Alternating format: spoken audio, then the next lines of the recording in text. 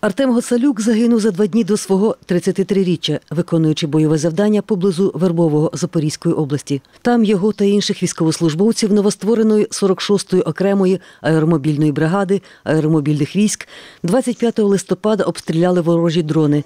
Це було перше й останнє в його житті бойове завдання.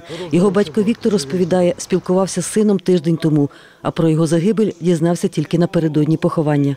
Вчора сказали. Не дзвонив, бо, бо каже, що не можна дзвонити. Рідко. Здоров, здоров, все добре, живий і здоровий. Сусідка Артема Оксана каже, недавно вони зібрали і відправили Артему посилку з цукерками, смаколиками, а тепер його маленький син весь час запитує про батька. Його синочок лишився 4 роки, який дуже згадує свого батька. І каже, що лампочка перегоріла, треба папі позвонити. Він завжди прийшов з роботи, купував йому сік, якусь шоколадку. Ми навіть не знаємо, як тепер сказати дитині, який 4 роки, який чекає свого батька, дзвонить йому і каже, в папи відсутній зв'язок. За її словами, Артем пішов служити наприкінці літа, залишив роботу на підприємстві з виготовлення вікон, де працював останній час, розповідає колега його матері Іванна.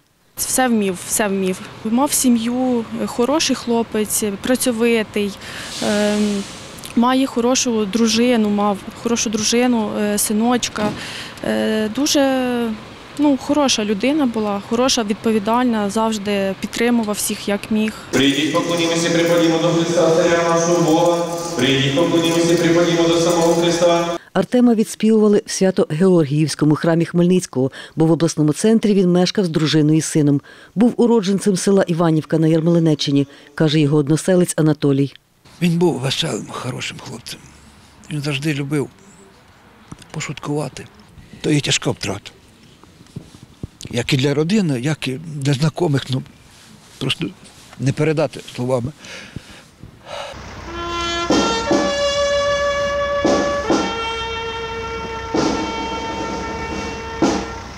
Героя проводжали навколішки і поховали на алеї Слави Хмельницькому. Світлана Поробок, Віктор Кривий, Суспільне новини, Хмельницький.